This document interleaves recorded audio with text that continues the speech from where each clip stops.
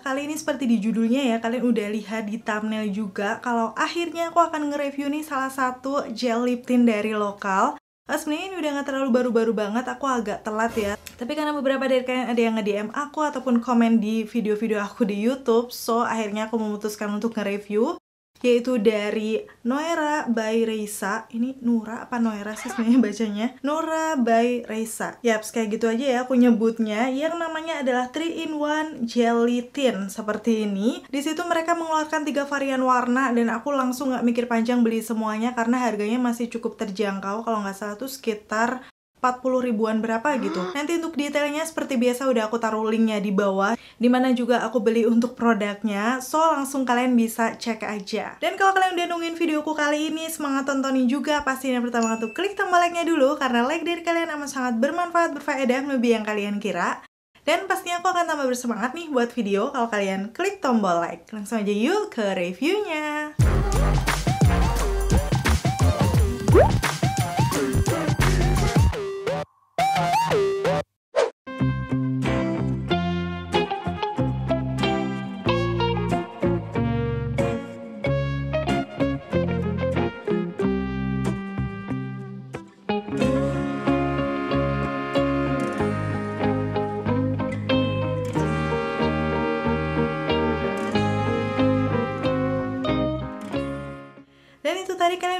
Package luarnya yang amat sangat sweetie girly Tapi buat aku sih aku nggak masalah kalau untuk urusan packaging ya sekarang masuk aja ke package dalamnya seperti ini. Kalau kalian bisa lihat di sini ini tiga warna yang beda juga hintnya. Dan uh, yang cukup menarik itu di bagian bawahnya tuh kayak ada bunga-bunga dengan perpaduan warna gold gitu loh. Jadi cukup unik dibandingkan lip tint-lip tint yang lainnya.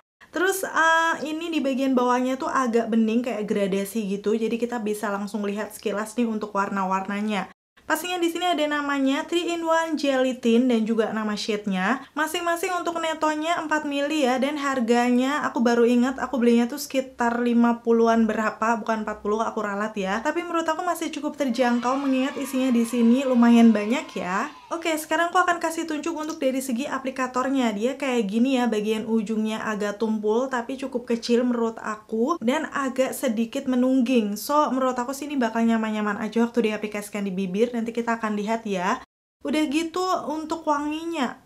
Nih, wanginya sih dia kayak ada wangi-wangi manis gitu tapi nggak terlalu menyengat. Cuman kalau lagi kita deketkan kayak gini sih kayak wangi-wangi manis permen gitu menurut aku ya. Sekarang aku langsung akan swatch aja. Mungkin kalian juga udah penasaran. Mulai dari sheet yang aku pegang nih namanya Pearl Dream. Yang waktu di swipe ini tuh kayak warna-warna orange gitu ya. Dan teksturnya sendiri menurut aku dia cukup cair. Jadi nggak gel tapi kayak air aja. Dengan pigmentasi yang masih cukup light. Jadi langsung aja akan aku aplikasikan di bibirku. Beberapa kali swipe ternyata warnanya baru muncul di situ dan di sini akan aku aplikasikan untuk ombre terlebih dahulu ya. Memang teksturnya bener-bener ringan kayak air, jadi kalau misalnya kalian mau pakai ombre seperti ini, bisa langsung dikatupkan bibirnya aja, dia kayak udah langsung merata dengan natural. Dan sebenarnya sih untuk warna ini cukup natural untuk sehari-hari, apalagi dibuat ombre, tapi karena memang pinggiran bibirku tuh agak cukup gelap, wajib banget aku tap-tap dulu menggunakan concealer ataupun cushion, foundation, apa pun itu untuk menutupi. Um, dan untuk warna yang agak terang seperti ini, aku rasa sih kurang cocok ya kalau di aku karena aku punya pinggiran bibir yang gelap. Walaupun sih ini warnanya kalau dibilang neon juga enggak, masih orange yang fresh. Langsung aja aku akan aplikasikan untuk full lipsnya ya. Beberapa kali swipe aku sih merasa uh, memang ini warnanya udah keluar. Cuman kayak coveragenya tuh kurang nutup gitu. Apalagi di atas bibir aku nih yang uh, cukup gelap juga. Jadi aku udah kasih concealer tapi hasilnya tetap seperti ini, masih samar-samar kelihatan ya. Tapi tenang karena ini memang warna yang agak cukup terang, biasanya pigmentasinya kurang bagus. Nanti kita lihat di warna yang lebih gelapnya. Menurut aku sih di sini untuk finish awalnya dia kerasa kayak basah lembab gitu karena tadi cair ya. So waktu dikatupkan di tangan pastinya dia masih agak sedikit transfer. Nanti kita akan lihat setelah ngeset seperti apa. Dan uh, pastinya warna orange fresh kayak gini masih cocok untuk natural seperti yang aku bilang tadi. Dipakai full lips pun dia nggak kelihatan menor menurut aku. So buat kalian nih pecinta warna lip tint yang orange peach mungkin akan suka dengan warna ini karena menurut aku nggak kepucetan juga masih bisa cocok di semua skin tone apalagi kalau dipakai full lips kayak gini ya terus sekarang untuk lip tintnya udah ngeset ya aku akan coba apakah dia masih transfer Yaps, ternyata dia sekarang udah nggak nempel dong di tangan, aka transfer proof ya. So, uh, ini udah jadi nilai plus kalau buat aku karena nanti dia nggak akan gampang nempel-nempel gitu, baik di makanan, minuman, ataupun masker. Oh iya, pas sudah ngeset seperti ini sih finishnya dia agak lebih matte, terus ada glownya dikit. Kayaknya sih mirip-mirip lip tintnya Emina nggak sih? Kayak gini. Jadi udah nggak sebasah ataupun glow yang di awal pengaplikasiannya. Dan sekarang masuk ke warna yang kedua nih, Girlish Red. Yap, sesuai dengan namanya waktu aku swipe memang dia tuh ada hint kemerahannya gitu cuman masih ada oren-orennya dikit nggak sih?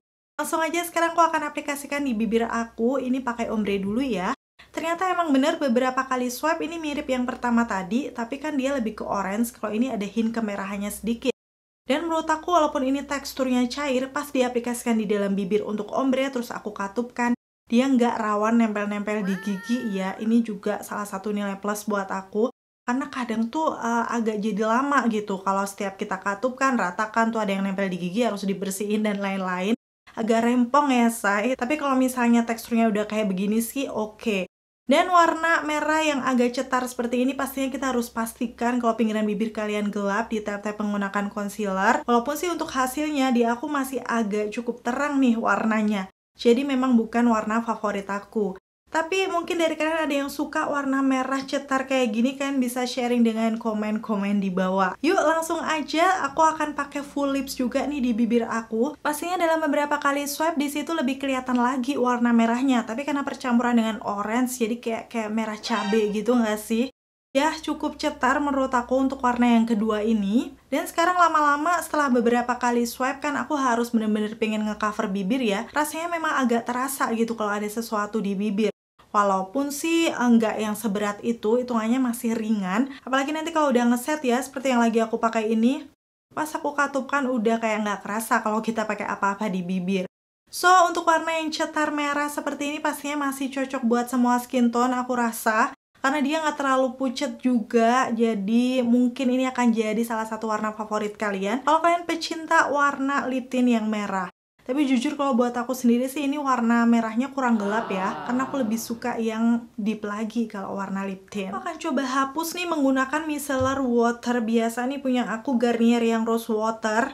Ternyata beberapa kali swipe masih ada dong hint warnanya. Kalian bisa lihat di situ ya warnanya kuat banget. So lanjut. Sekarang aku akan pakai ini cleansing oil dari Madagascar Centella Skin 1004 beberapa kali swipe kalau aku lihat di situ dia memang kayak lebih hilang gitu ya kelihatan warna asli bibir aku tapi untuk stand warnanya tetap masih ada walaupun lebih samar ya di situ. So aku rasa untuk lip tintnya ini bakal tahan lama nggak sih? Pasti kalian juga penasaran.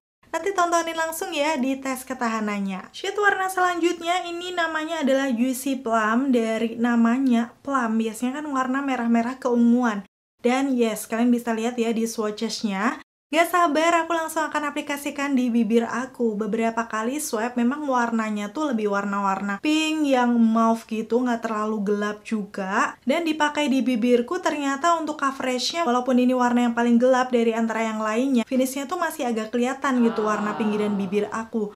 Cuman karena pinggiran bibir orang itu kan biasanya gelap agak ungu, jadi menurut aku sih di warna ini yang paling match gitu loh. Walaupun masih kelihatan samar, tapi menurut aku masih kelihatan oke okay gitu dibandingkan warna dua sebelumnya yang lebih terang. Terus ini yang paling cocok dengan warna asli bibir aku. Pastinya fix yang plum ini adalah warna yang paling aku suka karena lebih warm gitu. Dan menurut aku ini juga masih cocok di semua skin tone ya. So dari antara kalian mana nih yang seleranya sama aku? Komen-komen di bawah. Sepertinya untuk warna ini akan cocok banget buat ombre, jadi langsung aja nih aku akan pakai ombre ya di bagian dalam bibir aku. Dan warnanya bener-bener pinkisnya tuh natural banget kalau kita pakai tipis-tipis seperti ini.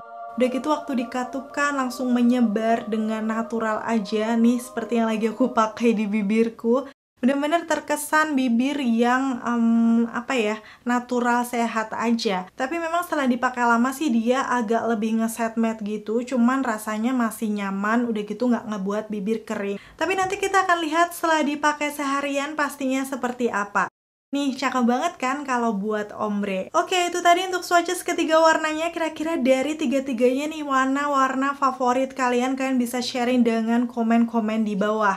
Dan uh, waktu aku lihat di packagingnya nih, di sini uh, nggak uh, ada klaim produknya sih sepertinya. Cuman ada keterangannya 3-in-1 gelatin dengan rasa buah strawberry yang dapat digunakan sebagai pewarna bibir, perona pipi, dan perona mata. Aku baru tahu nih kalau bisa dipakai di mata dan juga pipi. Mungkin kalau nextnya kalian pengen aku buat juga nih dipakai di pipi atau di mata kayak gimana kalian bisa komen-komen di bawah. Aku akan susulkan nanti di video terpisah tapi yang pasti di sini karena nggak ada klaimnya aku langsung akan simpulkan aja ya dari segi teksturnya ini ringan banget karena cair, udah gitu gampang ngeblend juga waktu dibuat ombre, jadi kita nggak perlu tap-tap pakai jari, udah menyebar natural aja. Dan dipakai full lip spoon, beberapa layer mungkin agak kerasa awalnya di bibir. Cuman kalau udah ngeset seperti ini rasanya kembali ringan. Udah gitu untuk warna-warnanya menurut aku mungkin masih kurang nih warna merah yang gelapnya. Karena dua sebelumnya tadi orange sama merah tuh masih tergolong terang.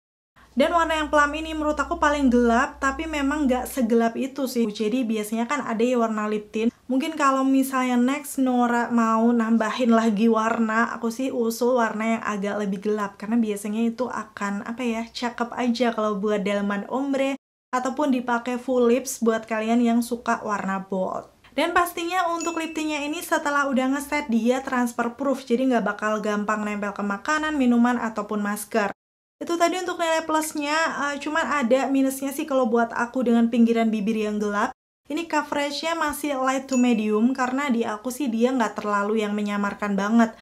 Tapi karena memang ini lip tint yang cair, uh, ya masih bisa dimaklumi. So buat aku sendiri sih dari ketiganya yang paling aku suka adalah shade yang juicy plum ini karena kayak yang paling match aja dengan warna bibir aku. Tapi mungkin buat kalian yang uh, bibirnya tuh udah dari sananya pinkish, nggak ada gelap-gelapnya sama sekali. Di semua warna dengan coverage yang seperti itu mungkin nggak akan masalah ya. Yap, sekarang yang terakhir pastinya aku akan tes ketahanan. Kebetulan nih kemarin waktu hari libur aku keluar rumah. Jadi sekalian aja nih aku akan tes si Nora Lip Tint Gelnya ini. Dan uh, untuk selengkapnya kalian bisa lihat di videoku yang berikut ini.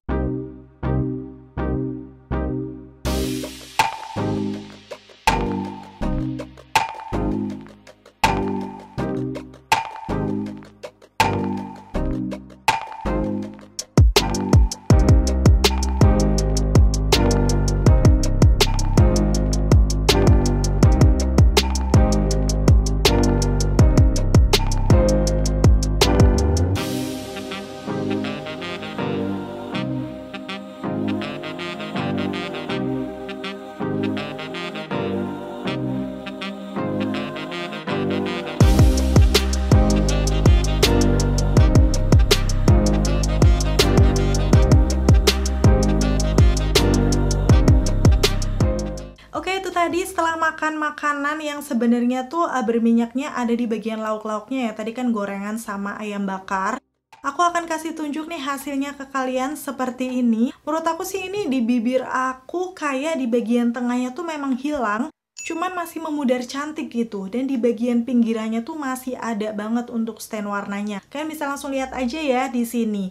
Cuman memang setelah dipakai agak lama seperti ini untuk bibir aku aku akan kasih tunjuk ya. Ini pas udah malam harinya. Menurut aku sih di situ secara penampakannya garis-garis bibir kayak jadi lebih kelihatan gitu. Dan waktu dipegang tuh bibir aku agak kering, cuman gak yang parah banget sama yang lopek-lopek gitu enggak tapi kayak kerasa lebih kering gitu dibandingkan di awal pengaplikasian tadi. Uh, Sebenarnya sih ini banyak ditemuin di lip gloss ataupun lip stain yang dia tuh meninggalkan stain di bibir. Itulah kenapa penting banget kemarin aku habis share juga ya lip care rutin aku. Sebelum memakai lip produk dengan hasil yang tahan lama, itu kalian wajib scrub bibir terlebih dahulu. Biar nanti setelah dipakai lama tuh nggak akan ngelopek-ngelopek juga kalau kondisi bibirnya jadi mengering. Dan overall kesimpulannya di sini untuk Nora 3-in-1 Jelly Tint menurut aku sih masih cukup worth to buy kalau kalian mau cobain.